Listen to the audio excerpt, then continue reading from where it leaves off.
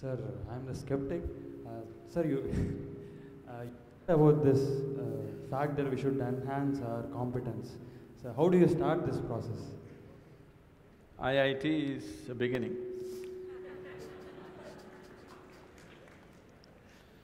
So, what are you skeptical about? You, you don't believe competence will work in this world, is it? Corruption is also a certain kind of competence anyway. Was supposed to be a joke. Huh? That was supposed to be a joke. okay, that's supposed to be a joke. So, now uh, how do I enhance my competence? See, let's say you want to run on the field, let's say you want to run a race, you want to run hundred meters. It is not running that you have to work on right now, you have to work on your legs and lungs and muscle and everything, isn't it so? So, if you want to become a great engineer, yes, definitely, an institute like this is crucial on one level. But any number of people might have come here and gone, not all of them became great engineers. Though they might have produced hundreds of great engineers, still not all of them will become, simply because of their own individual attitudes and competence and whatever else, isn't it? So, whatever the institute can do for you, it is doing. One foremost thing that you need to do is to enhance your own physical and mental capabilities. Because if you want to be a good engineer, you have a… you need a working brain. Just having a degree of engineering can… may be a passport to a job, but it is not a passport to success, isn't it? So to have a working brain, which the engineering degree will not freeze, usually lots of degrees, when people acquire degrees, they freeze their brains. They think they can… now they've finished using it and now they can rest it for the rest of their lives. It is not so. This is only to enhance your capability. This is just an organized effort. A school, a college, an institute is just an organized effort towards that, because each individual cannot craft it for himself. That is why an institution. Otherwise, an institution has no other purpose. It is here to just organize that possibility of you striving to be of a certain competence. But that is a mass application.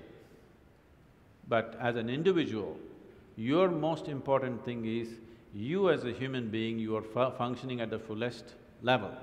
If that has to happen, there are other dimensions which one needs to explore.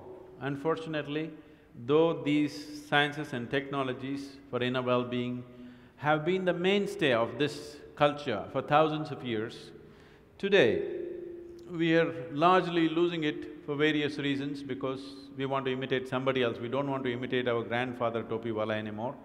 We want to imitate the hat seller from another country. Because of that, we are losing those things, but we should not. We have to bring it back into our lives.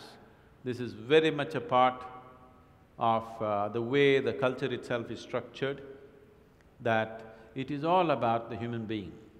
See, this is the only culture which talks about, which even an illiterate person in this culture is aware of, that you can actually evolve to another dimension of existence.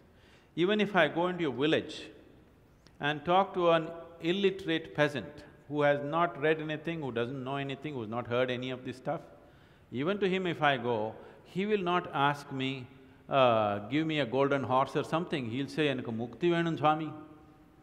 He's saying he wants ultimate liberation. Where did this fellow get this? Nowhere else on the planet this is possible.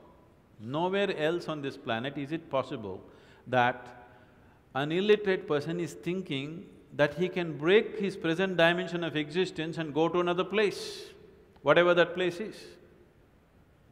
So, this was bred into our culture so deep, we should not lose it. It was not just the idea, there are technologies to become free. If you became free from the process of your body and the process of your mind, if you can sit outside of it and work it, you would work it brilliantly, do you understand?